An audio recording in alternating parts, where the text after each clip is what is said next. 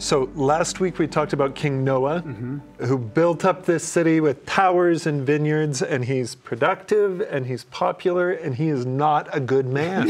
That can be a problem. and so we had Abinadi come through and warn people that this isn't leading anywhere good, this is leading to destruction. So, with that crisis over in these chapters, we're going to see three paths of response. Okay. And how can you respond to hmm. that crisis?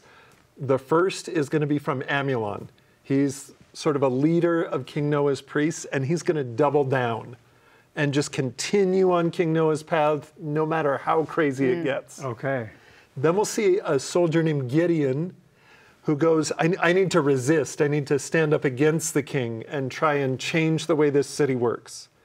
And finally, we'll spend probably the most time with Alma, who was a former priest who was part of the problem, mm-hmm.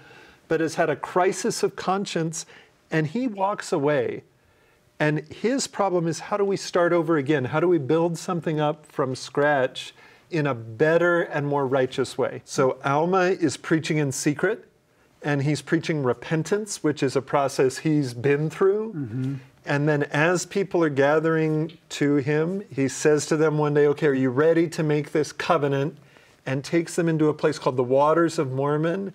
And actually, the first time he's immersed with Helam, who he baptized, Right. they both go all the way under the water, burying that old mm-hmm. life, that old world, and rise up into a new one. So, this is a really important passage to this day for how we think about baptismal covenant and the relationships with God and each other through that covenant.